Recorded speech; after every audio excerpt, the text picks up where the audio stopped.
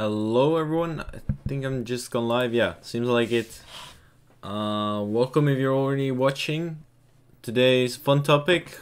Um, also, I'll try to make it informational, of course. Um, the topic is advanced tactics uh, stalemate. So when you're thinking about stalemate, it actually might seem very uh, easy, like uh, you might not really need to think about it, but um, there are definitely a lot of more advanced uh, tactics behind stalemates, uh, ones that you might not already know. Um, and yeah, uh, today I'll be showing a couple of those and we'll discuss the topic. Um, so I wanted to start with the most basic stalemate kind of. Um, the one that you will probably see the most. Um, is actually funny because um, it's it's a bit strange that uh, perhaps we consider the uh, a stalemate draw. Because in a stalemate, uh, for example here in his pawn endgame, um, you can see that white cannot uh, make any progress because at this point the king we cannot push the king away from e8 so you have to king e6 and we are the one giving a stalemate here and it's actually uh, quite interesting that um, when we have a stalemate, it becomes a draw and both players get half a point. Um, it's not clear to me why that is the reason. Maybe we should give the one giving the stalemate more points. Um, because it's clear that white is the one who was pushing in this game. So maybe white should deserve a bit more points. But um, yeah, this is the way we uh, decided to do chess and um, yeah. Th that means that a lot of endgames are actually not winning or you cannot really push because there will be stalemate. So um, basically all pawn endgames with only one pawn left uh, you can defend. You have to be a little bit accurate here though because you have to play the move king e8 if you start with the move uh, king to d8 it loses because now you get this position. And white pushes e7 and it's uh, black the move so we should go king e8 in starting position. So after king d6, king d8, e7, king e8. We have the same position, but it's white to move. Has to play king e6 and it becomes a stalemate. So, um, almost all pawn endgames will be draw if there's only pawn one pawn left. Um, let's go to to another position that I want to show. Um, I'll give a few quick examples. Um, one very well-known endgame, uh, endgame uh, as well is the wrong colored bishop. Um, we have seen before that with only one pawn it will probably be a draw, but now we have an extra bishop. Um, and yeah, normally you would think that would uh, should be winning for the side with the extra piece. However, here um, it simply doesn't win, and the only reason for that again is stalemates. So white can push, and at some point you get such a position. But the problem is that because this bishop can never control the h8 square, um, you can never push the king away uh, from the corner. So for example, bishop c4, checking h8. Um, yeah, there's no no way at all to put, get the king out of the corner. And uh, yeah, the most you can get out of this is a stalemate actually. If, it, if white were to have the dark square bishop, uh, let's say the bishop on c3, we would give a check, force the king to g8, and then we push the queen, uh, push the pawn until it becomes a queen. So um, yeah, this endgame is a draw as well, also very well known. You probably already knew it. Um, so let's go to another endgame, one that already gets a little bit more tricky. Um, a rook uh, against the bishop. Most of you will probably know that this endgame is a draw, but it's not as easy sometimes, especially if the king um, gets on the back rank. It will not be that easy because once the king gets on the back rank, there will be some mating ideas. And um, as you can see, white is uh, wanting to play rook h8 check. However, the thing is that the king is in the right corner here. Or, uh, yeah, corner opposite of the bishop. And it's actually rather easy to defend this. Um, because what uh, yeah there's simply no way to make progress for white in such a position because once they uh, give a check on h8, you simply go bishop b8, and you kind of put yourself in a stalemate. But there's no way to break this down for uh, the white side. Um, if you play rook move on the last rank, it's a stalemate, so the game ends. Uh, black cannot play any move here. And um, if you go back, then simply the bishop can retreat. And uh, yeah, we get a draw. So this kind of endgame will be a draw. It can be a bit more difficult, for example, if um, the kings would run to the other side. Uh, like this. If the king would be in this corner, then it could get a bit more tricky. So let's say we have such a position. Um, this could this could be tricky, and this position is actually winning. Uh, the reason for that is that we are threatening checkmate. Um, we can play a move like bishop b8 to block it, but after rook a8 we don't have a stalemate. We can still play a king move. So if you have such a position, uh, it's actually winning for white. The only the move you would like to play with black here would be the move king to f8. Uh, trying to avoid the checkmate. But now we have rook to f7 check. So the bishop is uh, not so great on f4 here. So um, yeah, then there's this endgame also rook against knight. Um, with rook against knight is actually uh, quite easy as well. A rook against knight is also a draw. Um, you need to be slightly careful, but it shouldn't be too difficult. Um, I don't have the position set up right now. Um, I'll try to set it up. Um, sorry. Uh, how do I do this? Okay, I don't know. Um, so the, the thing is, uh, let's imagine that this bishop is gone on f4, and instead we have a knight on f8, for example, which already gives a check um, the king goes to f6 and you simply keep on going to these two squares uh, so f8 h7 and there's not really a way for white to make any progress at all here. Um, and I think a knight against a rook should be quite doable. Um, but now let's go into a bit of a more difficult endgame than uh, the ones we've seen so far.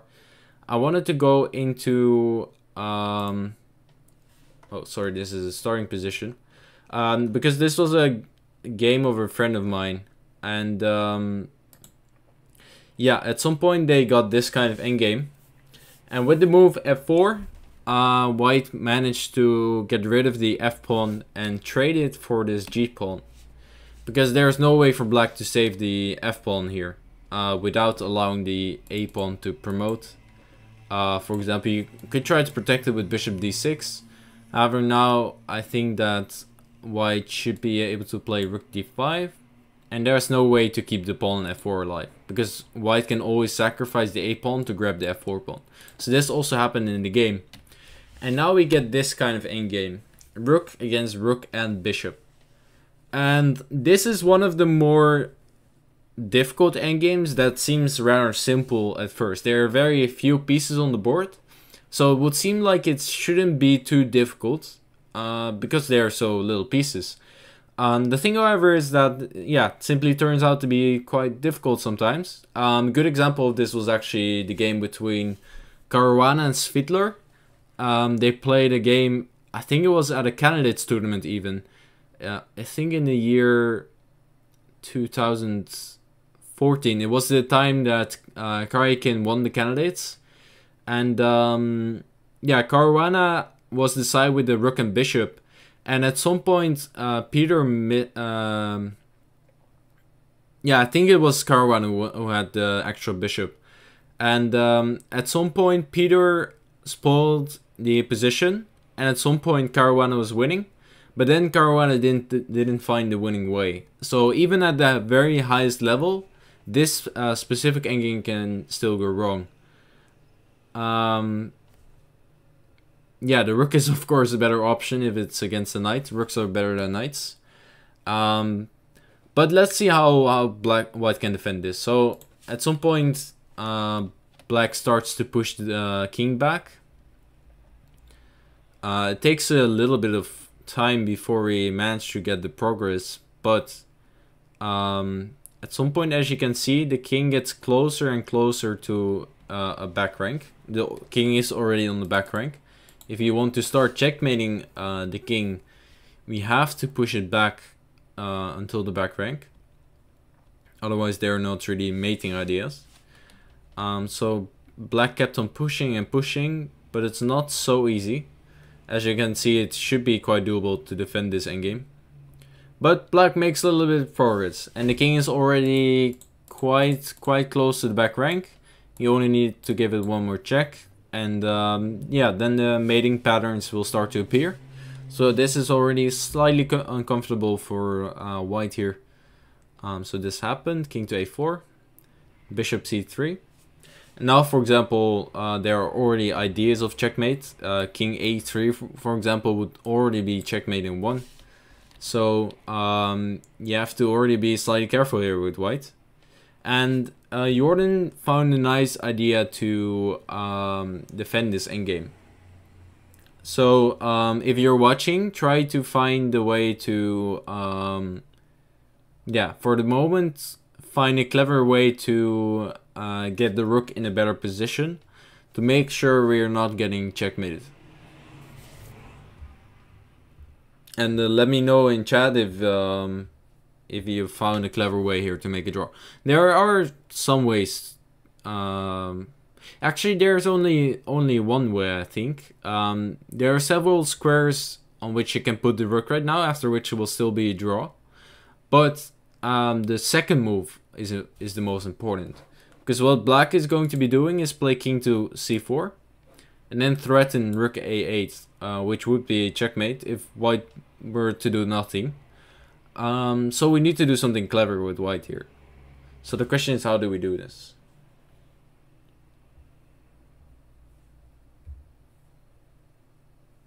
Yeah, so someone is saying rook b5 check, which is definitely a move, and also the move that Jordan played. But the question is mainly what do we do after the move king to c4? How do we defend this? Because it seems like rook to a8 is coming. Uh, would be almost checkmate. We still have the rook in between. But because this bishop is covering the a5 square, um, black will simply take the rook and give checkmate. So black is threatening right now to give uh, checkmate in uh, 2, basically. So yeah, how do we deal with this? How do we defend this endgame and uh, make a draw here? Because this endgame should be a draw, but um, as you can see, can sometimes get uh, quite tricky. Yeah, rook b4. Rook b4 is the move, and as you can see also in this endgame actually, uh, you need sometimes need uh, stalemates to make a draw. Um, because if black takes the rook, it would simply be um, lost game. Uh, sorry, I, it would simply be draw because of a stalemate. The king has nowhere to go, and that means a draw. So we have to go rook b4 check here, which was what Jordan played um, king to d3. And now the thing is that black didn't have to take the rook. So they can still keep on pressing this endgame. Um, the king is still in a mating net, so it's still very, very difficult to hold this. So um, black kept on pushing. And at some point you can see how difficult it becomes for white. Um, for example here, uh, Jordan was going up and down with his rook, but now if you go up and down, you have rook b1, take the rook. So he cannot do that, so he has to move the rook away from the b file. But now he gives check, king c2 check, and now the again there are mating patterns again. So the bishop will go to d4, for example, king to d3, bishop e3, and then he will try to uh, to give another checkmate. So uh, Jordan went rook h3 makes sense, cut off the king on the third rank. Rook d2 check. King has to go to c1. If you go to e1, there will be rook h2 check, winning the rook. So king c1, king b3. Jordan played a waiting move, which makes sense.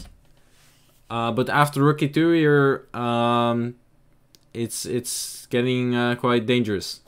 Again, there's this mating idea with rook to e1. There's only one move again to save this position. Um, and this time Jordan didn't manage to find it. So after his next move, he had to resign. But try to find the the only move here that makes a draw. Yeah, see, Anish are also here. The reason why Anish are here is because Anish isn't streaming. I actually saw Anish on uh, national television tonight. He was in a talk show uh, talking about the Queen's Gambit together with uh, other few uh, very famous Dutch persons, um, Dutch people. So that's the reason why Anish isn't streaming tonight. Um, but yeah, try to find the only move to make a draw here.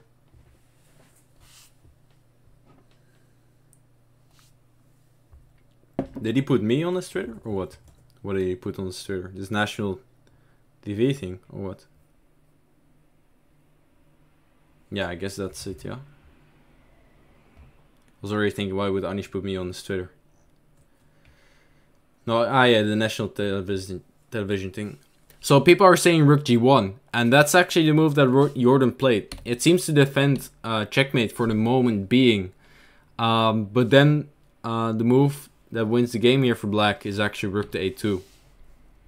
So um, not only is black right now threatening to give checkmate, what he's also threatening is to win the rook. So if you play king to d1, rook a1, check, king e2, uh, you will take our rook and then we lose the game. So after rook, uh, rook g1, rook a2, uh, Jordan had to resign. Um, but there's a better move here. The move that uh, saves the game is actually rook to d3. So that after rook e1 check, we have rook to d1. And there's no checkmate yet. Um, black can go bishop to b2 check, but we simply have king to d2. And we keep on defending our uh, rook. If bishop c3 back, then king c1, and there's really no way to make progress. Um, maybe after rook d3, uh, black could try something like rook e4, but black can, white can simply wait on the d file. I think d5 is, for example, a good square.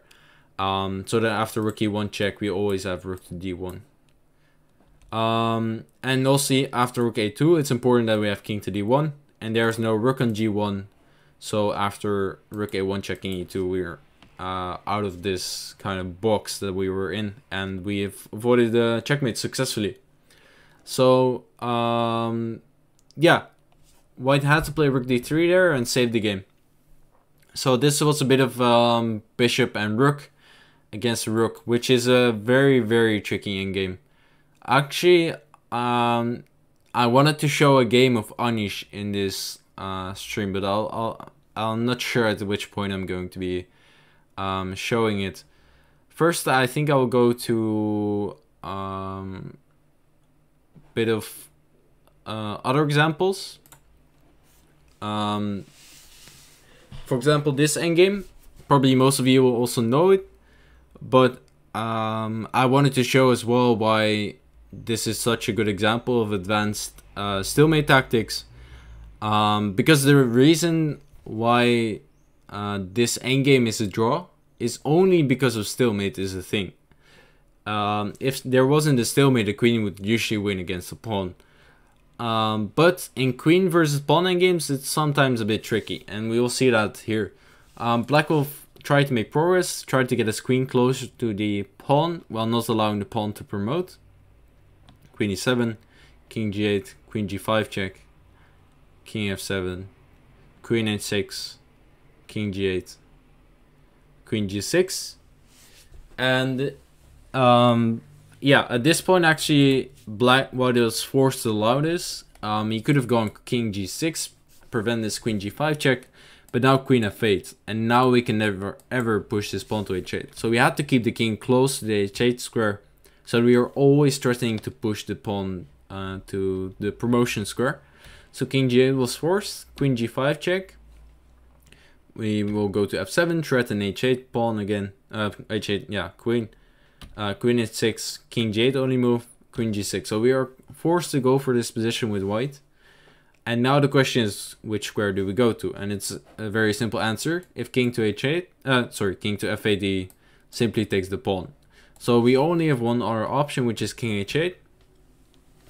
And if black gets his king closer, which is something he has to do to try and win this endgame, it's simply stalemate. We have no uh, legal moves that we can play, and we can simply claim the draw here.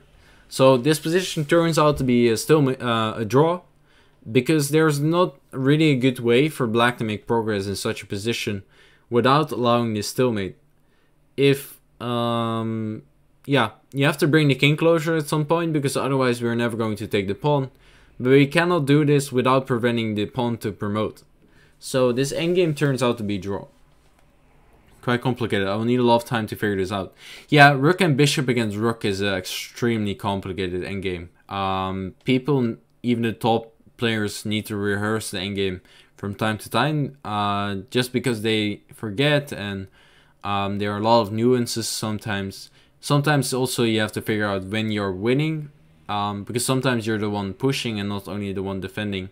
So it's a it's a tricky game and um, it doesn't happen that often so it's also not something they really want to study that much but in the case it does happen they want to be able to defend it so it's a bit annoying because makes you look like a bit of a fool if you lose it but on the other end it's not really something that you work on very often so as we see this endgame is a draw uh, but what happens if we push the pawn one square uh, back uh, so let's say we have the pawn h6 is it still a draw? Does uh, black have time to uh, win the game here?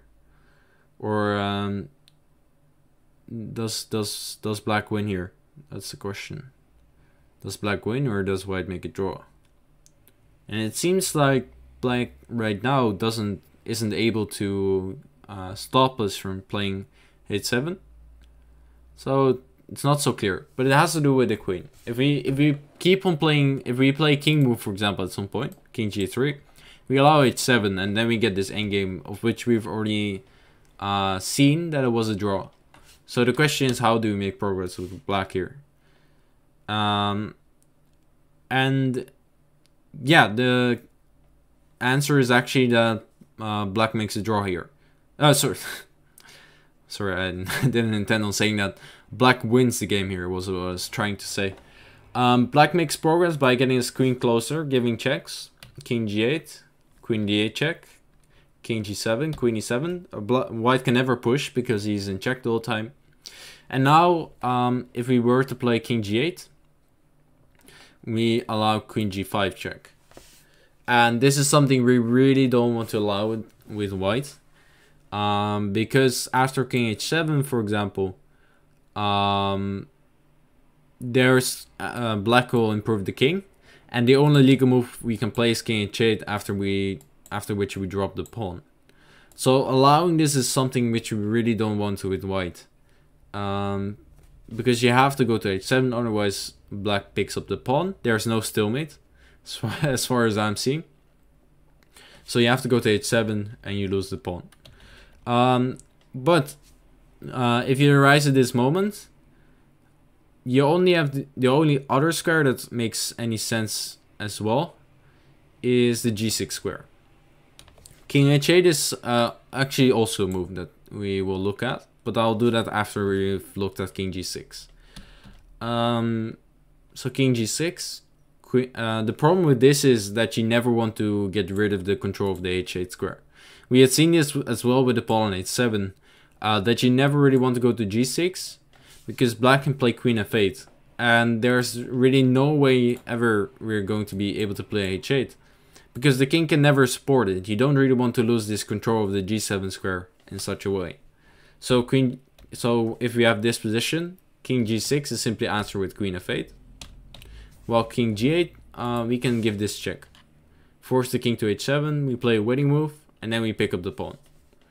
So um, this position, you just keep the get the queen close to the pawn, and then at some point you give this uh, this kind of check. We could, for example, also have gone to g5 immediately. Uh, that might have been actually simpler.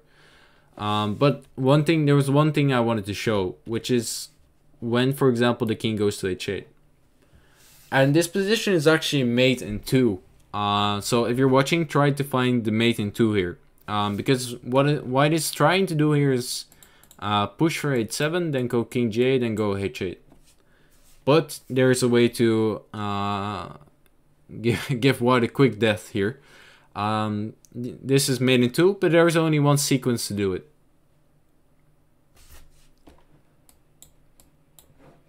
So let's let's try to find that. And this is one that I've always really liked.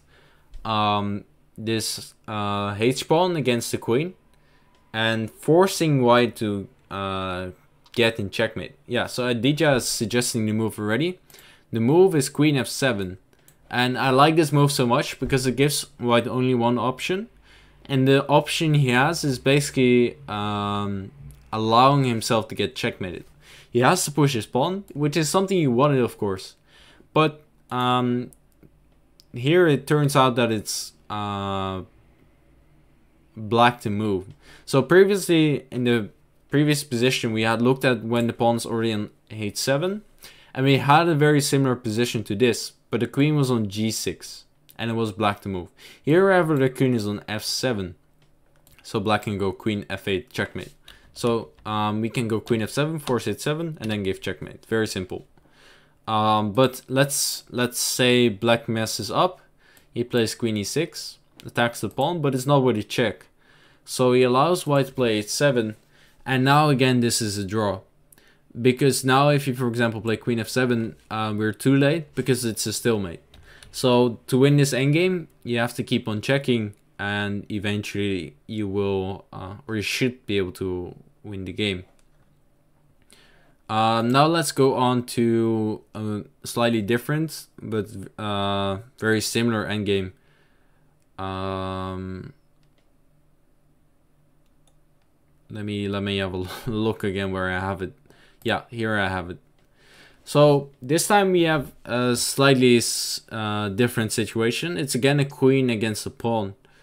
But this time uh, we are dealing with a c pawn. Or uh, actually this is an f pawn.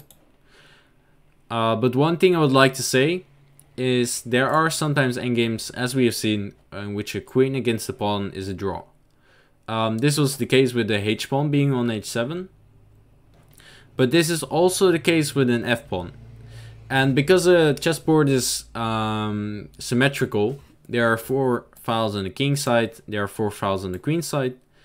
Uh, this means that a pawn on c7, for example, with the king close, would also be a draw, and on a7. So um, a queen against a pawn can be a draw if the pawn is on the 7th rank, and it's an A, C, F, or H pawn. And it's uh, actually very simple also to hold these endgames because the only thing that you need to use is the uh, is stalemate. So for example here, uh, let's say the queen gets closer, pins the pawn, king g7, promoting, we're trying to promote, uh, queen e7, king g8, trying to or threatening to promote again. The only way, by the way, for black to try and win this endgame is if the king could get closer. So if the king could be able to walk uh, near the pawn and then uh, try to checkmate this king before the pawn promotes. Sometimes even after, but especially before. Um, so here, uh, king g8, trying to promote again. Queen g5 check, getting closer. King h8, queen f6, forcing king g8. And now we have king queen to g6. And now we have this question again, where do we move the king? Do we move to h8, which seems to lose the pawn? Or do we move to f8, which blocks the pawn? So neither seems uh, ideal, but it's a very easy answer. It's uh, simply king to h8. And the reason for that is because black can never take our pawn. With the king in, this, uh, in the corner because it would be stalemate. So um, yeah, as I said, queen against f-pawn is a draw because of this stalemate trick. So as you can see again, stalemate is a very important aspect to chess because it can happen in a lot of different endgames. And um, yeah, you have to use it quite often to make a draw. So um, yeah, there's simply no way to make progress. Here, um, officially king f8 would still be a draw, but that's because the king would be so far away that you're still in time to make this stalemate draw. So let's say black is king to f3. Now you go king e7, you threaten to uh, promote again. So queen g7 is played, king e8, threatening promote, queen e5 check. And um, yeah, here you can, for example, play king to d7. Black should play queen to f6, preventing the pawn to promote. King e8, queen e6 check. And now this, uh, you have to go to f8. Because if you go to d8, you simply lose the pawn. So at some point, by giving these checks, black is able to um, to uh, push you to f8 because you don't want to lose the pawn. The king gets closer again, but the king is not in time because after king g7, we again have this stalemate thing. We can go for this king h7, queen f6, and even if the king is so close, it's not close enough because we have king h8 here. Again, using a stalemate trick. So officially king f8 was also draw, but that's because the king was so far away. If the king were already on e5, for example, I think it would probably already be in winning endgame. Uh, let me actually show an example of when this can be winning if the king is close. Um, it's actually a nice trick I recently had seen. Um, so let's go back actually to the h pawn position. Um, I think it's this one, yeah. So let's get the king first of all a little bit closer to show what I wanted to. Um, wait, why can't I move pieces? This is a bit strange. Okay, now I can. Um, no, I cannot. Not sure what's happening. Uh, let me refresh once. Maybe then it will work. Okay, yeah, now it works. So let's get the king a bit closer. Let's pretend like white wouldn't promote here. Let's say white plays um, king g8. I wanted queen e1. Uh, the specific position that I wanted was this one. Um, let's say white plays this move, queen e3. Yeah, so this one, this was the position that I, uh, no, no, let's get this one. Yeah, this was the position that I wanted. Okay, so let's imagine this position, um, and that this is not a queen, this is a pawn. So you have the e pawn against this h pawn. Um, if it were black to move, he would play e1 and then promote to a queen. So we get this position. And it seems like white is able to promote, which he is, of course. But it turns out that even if he promotes, it loses. Um, but this is kind of specific. Um, this was actually something that could have occurred in the recent Olympiad, the online Olympiad. Uh, one of my team members on the female board, she um, could have gone for this type of position, but she thought, okay, my opponent promotes, I've promoted, uh, queen against queen should be a draw. And she had very little time to see that it's actually winning. Um, but at the recent Title Tuesday, I even uh, saw a Russian Grandmaster, I've got his name, execute this perfectly. He saw that if I promote, my opponent also promotes, you actually win the game here. Because of queen e7 check. And um, queen 8, king h6 is very simple because we have queen g5 forcing king h7, queen g6 checkmate. But the question is mainly what happens if our opponent's king goes to g8? How do we win this? And um, the way to win this is simply by playing king g6. And even though there uh, white has this queen on h8 that has so many squares to go to, um, yeah, basically has 16 squares to go to, or no, sorry, 14 squares to go to. Uh, there's no way at all for white to prevent queen e8 with checkmate. You can go queen g7, but it's we simply take it. Uh, you can go queen h7, but we simply take it. So there's no way for um, yeah, white to do anything here. You can do nothing. You have a full queen. It's a queen against queen, so it should be draw. But for some reason, the queen cannot go anywhere.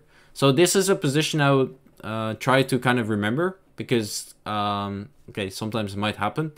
Uh, sometimes you can allow the pawn to promote even if the king is so uh, close. So these pawn, pawn against queen end games will not always be a draw because this can happen, for example. Do any of these ideas change when the side is reversed or is it exactly a mirror of the current position? Yeah, so um, I said this uh, when you here we have an H pawn. We also just looked at when you have an F pawn. But if you move it to the other side of the board, to a C or an A pawn, it's exactly the same. Uh, the chessboard is symmetrical. Uh, both sides have four flanks, or four files, I mean. Um, so it doesn't matter if you have an A, C, F, or H pawn, they're all a draw. The other four pawns, so B, um, D, E, and G, they will always be winning. So if a pawn um, would be on G7 and the king on F7, for example, it would be a win. The reason for that is because you have no stalemate tricks at all.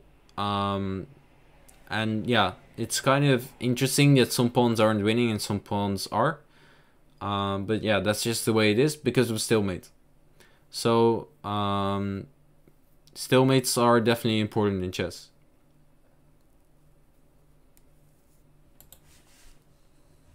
Um, so let's actually, let's, I think this is the time to go to a Giri game. I was, uh, when I saw that the topic of today's uh, session would be advanced stalemate tricks, I had to I I just immediately thought of this game. Um, the the game was not too interesting itself, but uh, especially the final part was. Because what happened was that at some point, uh, Anish with White was playing Shankland um, in Tata Steel 2019. And um, they had this endgame which should be comfortably drawing for black. He's not even down a pawn. White doesn't even have a pass pawn, so yeah, there's no indication of why this should not end in a draw. But Shankland misplayed it slightly. Um, the easiest would be, I think, g4, for example. King g6 is probably what he feared. Then king to d7. Um, the bishop moves somewhere. And you go king e6. King takes. Uh, king f5 and now the king is very active and uh, should should end in a draw. However, he started with the move king to d7, and he probably thought, uh, I'm not sure even what he thought, but um, he thought probably that he could go knight h4, knight f3, and then pick up the h pawn, because he expected bishop f8 from Anish. So you had knight h4, bishop takes knight f3, and it seems like he's going to win the last pawn.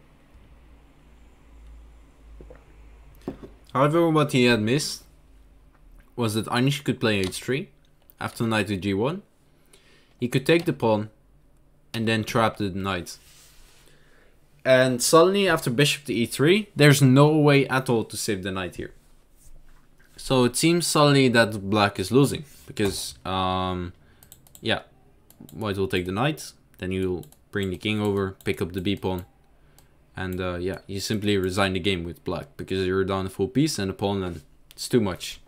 There's no way to defend that. So um, Shankland played king to d6 here. Only move actually to still try to make something out of this. Um, because Anish wanted to go king f5. And now he went king to d5. And the idea that uh, Sam had was that after king to g4, he could still play the move king to e4. And um, yeah, if you take the knight, I take the bishop. And uh, black's even winning here. So this is really something you cannot do. Um, so you have to move the bishop here to some square. There are a lot of squares that you can go to. But there is no good square where you, uh, you keep on protecting all of these squares. So there's no way at all for uh, white to keep the knight trapped. So let's say the bishop goes to c5, you have this f4 square. So if this were to happen, um, Anish, um, yeah, wouldn't be able to win the game. Instead, the move that probably Samuel had uh, missed was the move b6.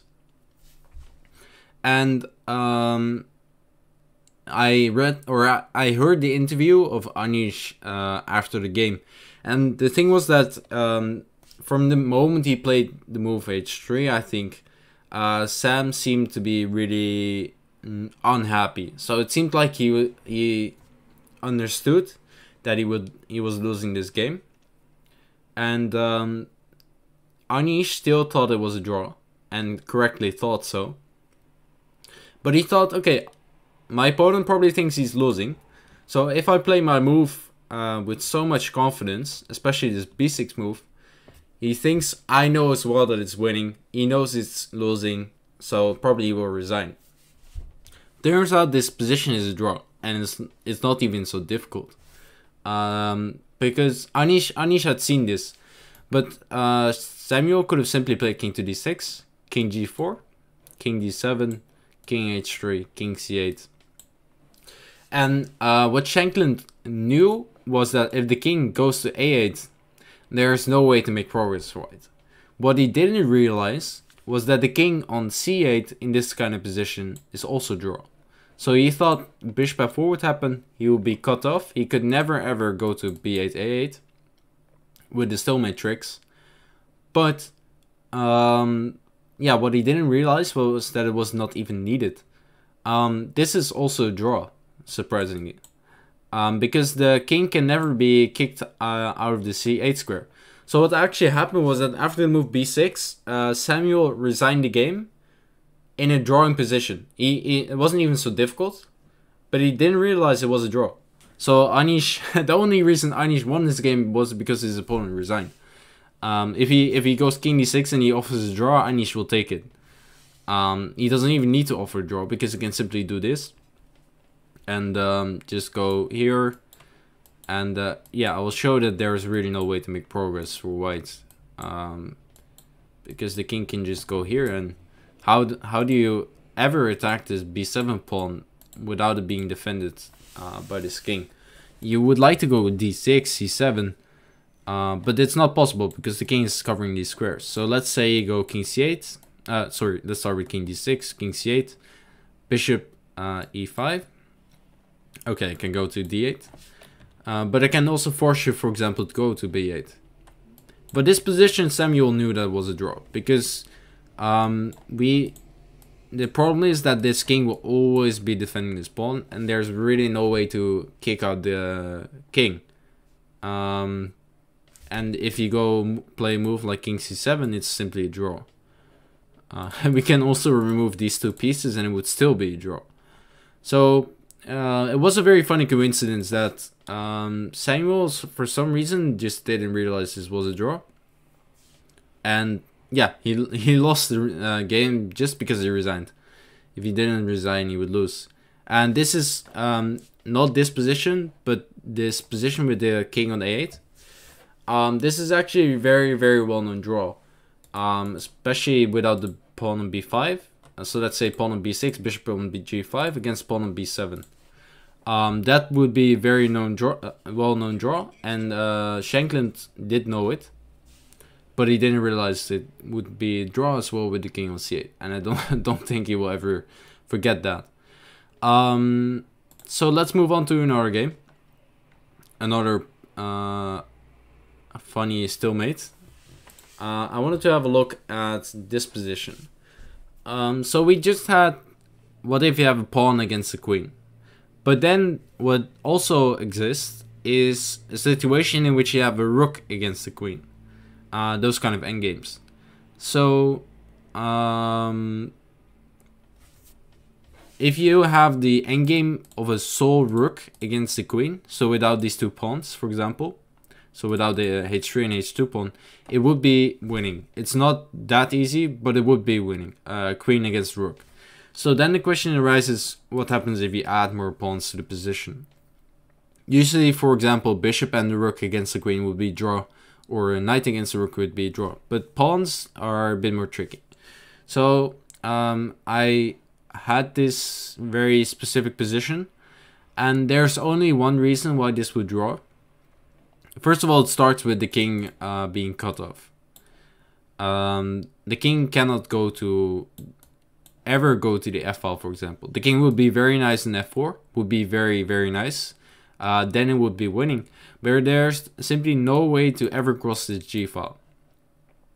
So how does black make progress? Well, he, he wants to move the king to h4 and then put pressure on the on the white position. He wants to go to um, the h4 square, then give some checks, uh, queen d4, queen e2, and then try to, um, yeah, try to get white basically in a, in a zugzwang. So let's let's show that. King g1, king h7, queen g2, uh, king h6, king g1, king h5, king g2. And now we cannot obviously play the move king to h4 because it's rook g4. So you have to do something with the queen first. We have to get it to another square before we play king h4. So queen e4 check, king g1, queen e2. Um, we play rook g4, queen f3, rook g3, check, check, king g1, king h4. Eventually, black got exactly what he wanted. Um, it seems like, um, yeah, white is simply lost here. If if rook g8, for example, um, what what black would be doing is probably take the pawn, rook g3, king h4, and again white is in a zugzwang. Um, probably even after rook g8, uh, what black could also do is give checks and eventually go to a2 then have the double attack on the king and the rook. But it makes also much sense to take the pawn. And then uh, you get this kind of situation. Uh, white has again to play the rook to g8 for example. And um, now we can start to pick up the rook like this. Uh, keep on giving checks and eventually attack the queen, uh, sorry, the king and the rook. Um, I hope you understand what I am trying to say. Um, so we have this position and um, it seems like there's no way to make a draw here. So how do we how do we actually draw this with white? Uh, try to try to find the best move here, and uh, yeah, one the only move that makes a draw here. It's not an endgame you will see very often, but I simply wanted to show uh, how often these stalemate tricks occur in especially endgame. Um, tricks usually won't happen in the middle game, of course, because then the pieces will have a lot of squares to which they can go to. But try to find the, the move here that saves the game. And it's of course connected to the theme of today, the stalemate. Advanced tactics of stalemates. After this game I'll move to um, the very typical theme of stalemates actually. There's one theme that's very very well known. Yeah, the move um, which is suggested by Peter Peterson, uh, saves the game, which is move the move rook to g3, uh, rook f3. You could also try rook g4, but then after it takes, rook g3, king h4 back, we get this position, and we have simply lost the h3 pawn, and we cannot give this check anymore. So now again, uh, we are in a zugzwang, so we don't really want to lose this pawn. So the move that saves the game is actually rook to f3. And um, black can simply take the rook, but then it's a stalemate. So black can never ever take this rook. And um, then the question is how does black even make progress if he cannot take the rook? He can go king g5 trying to go to f4. If the king does reach f4 it would be a winning position. Um, but there's simply not a way to make progress here for uh, black. We can simply play the move rook to f2 for example uh, queen e3, and then king g2. And I think this is a much better setup than this setup we had with the rook on the g file. Because here as well, uh, black can never make any progress. For example, if he goes king to h4 back, um, we do not have a lot of moves, but we can go rook f3. And it seems after queen e2 check, um, we are in a little bit of a nasty position. It's a bit tricky. But uh, black uh, white has moved king to g1 again and we get the same position uh, white black cannot ever take the rook because of stalemate and um, because of that uh, that's actually the only reason why this uh, starting position is a draw. Just because of this stalemate trick. So it's a, it's a nice example of how sometimes stalemates can save the game. Um, what about rook h4 after king g1. So rook g4 takes... Ah, so the thing is if you go rook h4, you can simply take the rook and it's not a stalemate. So this doesn't really work out. Um, yeah, so the rook, you can simply take the rook there. I am going to the last example of the day, I think. I might have one more example, but uh, maybe time runs out. I wanted to go to a game. I think it took place in the Dutch Championships. It's at least between Erwin l'Ami, a known Dutch Grandmaster, and Luc van Wely, also a very known Dutch Grandmaster. And some point uh, in the game, uh, they got a very, very funny position. I'm not sure at which point it went wrong for Luc in this game. Um, but at some point they got this endgame with two rooks. And uh, it's simply very, very nice for white because the rook on e7 is so active. Usually in the rook endgame, uh, rook on the 7th rank is extremely powerful. Um, so, yeah, white is definitely doing quite well here. At some point the rook will take the pawns on the queen side and maybe this other rook can join on the 7th rank as well. And they will be completely dominating position. Uh, they will take on g7. They can take every pawn and uh, win the game. So uh, this happened. Rook c2, rook b7, rook f2. Rook c3. And now as you can see, this rook is starting to join on the 7th rank. Which is something that's incredibly powerful in such rook endgames. Uh, king h7 happened so that after rook c7, uh, black could play rook g8, defending the g7 pawn, but uh, it's incredibly passive. This uh, rook on g8 is never able to do anything. And after the move rook f7, black is also not able to push for f3. So that only leaves one move basically, a5, trying to save this a pawn. Um, now the question is what happens after king g1 and simply yeah we cannot defend f4 anymore. So black's pawns are getting eaten up.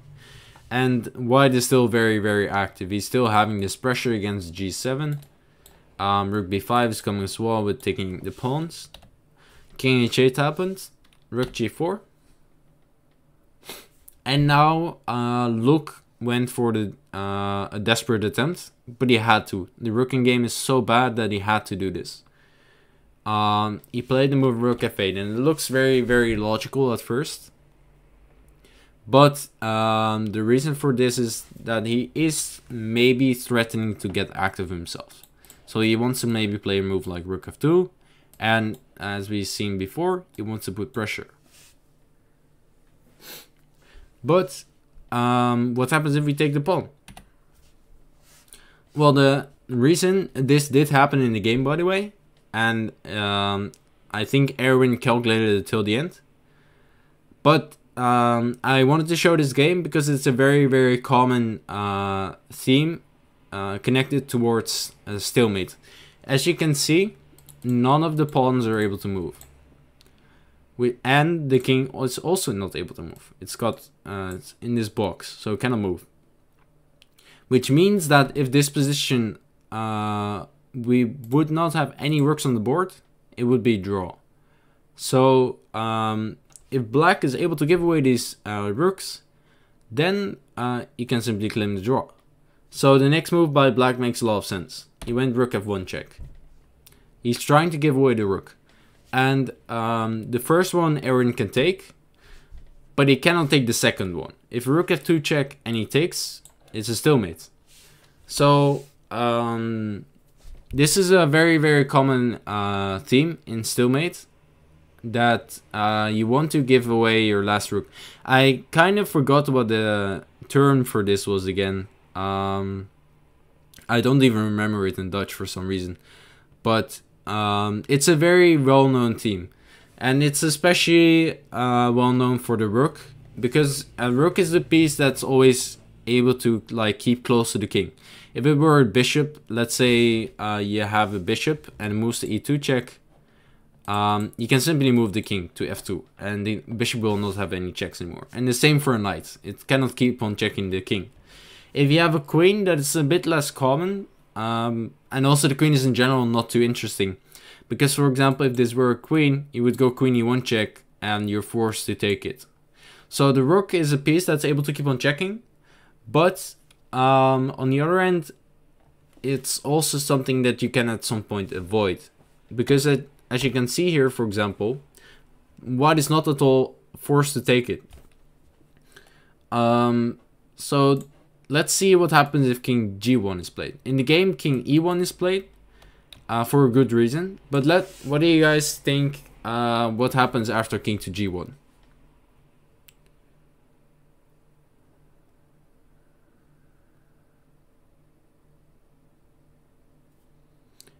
Um, it's good, Patrick, that you grew so much in the past year. Um, if you still want to improve, usually in that rating category, I will be trying to improve calculation. Um, but yeah, it's a bit difficult to explain it right now in a short minute. The language he was talking uh, was Dutch, uh, because I'm Dutch, so made sense. Um, so yeah, the move has been spotted. Uh, it's black to move, white is just play king to g1, and the move here is rook g2, giving away this rook again. And now we're also attacking this rook, so uh, it makes sense to take it actually. But it turns out that after rook takes g2, the king is still uh, in this box. The king is still unable to move due to the two rooks. And because of that, it's it's a stalemate. So the king had to go to e1 in this position. And the rook has to keep on checking. So we have to decide here with black, where do we check? And it makes a lot of sense to start giving checks on e2. Because if we go to e f1 instead, um, doesn't make a big difference. Um, I think it will actually kind of transpose to the game at some point anyway. So the question is actually how does white avoid the checks? Because we're never able, or it seems like we're never able to get out of this because the rook protects the f-file. We're not able to go to e4. But if we go to the queen side, we're never able to go to either c4 or b4. So how do we ever escape this rook that keeps on checking us? And it was actually shown in the game. It doesn't matter much if the rook goes to f1 or e2. Uh, the king can go to the queen side. But the question is, how? what does uh, white do after? So king to d1 happens. Rook to d2. King c1. Um, rook c2 check king b1. Now, we had seen this rook takes g2 idea, but the rook takes b2 doesn't really work out. Um, the reason for that is because we can take with the rook, and now this rook on g7 is undefended, so it's not a stalemate. You can simply take it. Um, so rook to c1 is forced, because rook b2 check doesn't work out. Um, this rook g2 idea we had seen uh, did work out, was, and that was because in this position would still be stalemate. So what white is trying to do in this position is at some point take the rook and then not have a stalemate. So it means that at some point he has to do something about this construction of these two rooks uh, to avoid this, this stalemate from happening. So rook c1 check, keeping on checking, king a2, rook a1, only move, king b3, and now rook a3 check. And again, uh, we can take it with either the king or now even the pawn, but it doesn't matter. Um, we don't we don't want to take this rook. If we take the rook, then it's a stalemate. Um, so king c2 was played, and white really doesn't want to take the rook. But um, white has improved this position. Meanwhile, he has run this circle around this pawn, and what he has achieved is he's gotten the rook on the third rank instead of the second. So suddenly this rook is on c3 is, uh, instead of c2, and the king is not on the first rank. So the king has moved up a rank and the rook as well. And now white is trying to do the same, but with the other pawn. He's running to g1. King d2, rook d3, king e2, rook e3, king f2, rook f3. Keeps on checking, he can never take it. He goes to g1, rook f1, king h2, rook h1, king g3, rook h3. Same idea again. And um, now we can see what white has achieved. He's forced his rook to go to over here. And now suddenly this king is able to go to f4. The king is finally able to escape this box. Um, at the start we could see um, this king never able to go to the f-file because the rook was always uh, guarding this f-file. But because um, Erwin has run these two circles, he's finally able to escape with the king to f4. But the question is, how do we get rid of this rook? Because there's still the stalemate happening. Uh, rook f3 check, king e5, rook f5. The rook keeps on checking. We have to do something with these two rooks. We have to disconnect them or something. King d6, rook f6 check, only check. King c5, rook c6 check, and king b5. And in this position, uh, Luc really resigned with black because he didn't have any good checks anymore. He could go to c5. The problem, however, is that we can take with the pawn. And suddenly this pawn is able to move, which means that we have no stalemate anymore. So um, you cannot go there. And we can also not go to b6. The reason for that is because we can take with the rook. And suddenly this rook on g7 is undefended. And uh, there's no stalemate anymore. So in this position, there were no checks anymore to keep giving away this rook. And uh, yeah, turns out this position was winning.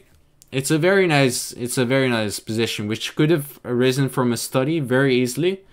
I'm, I, it's, it's crazy to think that this was not a study, but it turned out to be an actual game, so that's quite nice. Then, um, and yeah, this was um, today's stream on still advanced uh, stalemate tactics actually. Um, I especially like this final final game because um, the rook wants to give it itself away the whole time for like 20 moves in a row, but none of the times we take it. So I, I like it a lot, and uh, especially as it was with Dutch chess as well. So um, yeah, I hope you guys enjoyed today's um, session. I'll be back next week on Thursday probably. Uh,